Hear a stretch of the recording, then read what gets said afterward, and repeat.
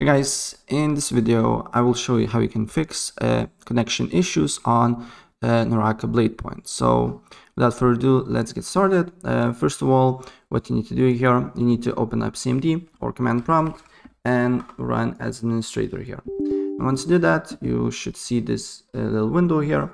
And here what you need to do is to write flush ip config slash flush DNS and after that, uh, another command that you need to put is, is netsh winsock reset.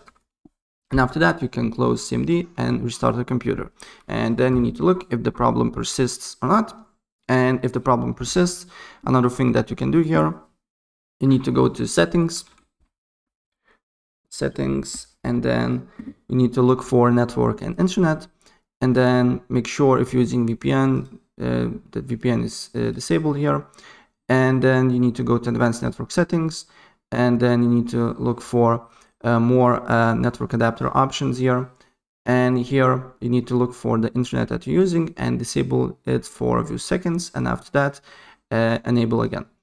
And after you do so another thing that you need to do here if the basically if this doesn't help you is to go to properties and make sure internet protocol version 6 is disabled and double click on Internet Protocol version 4.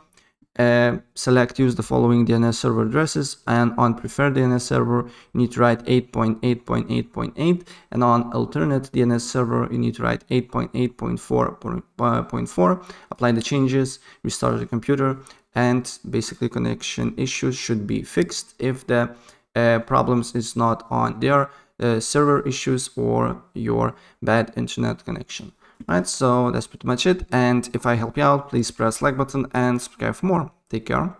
Bye.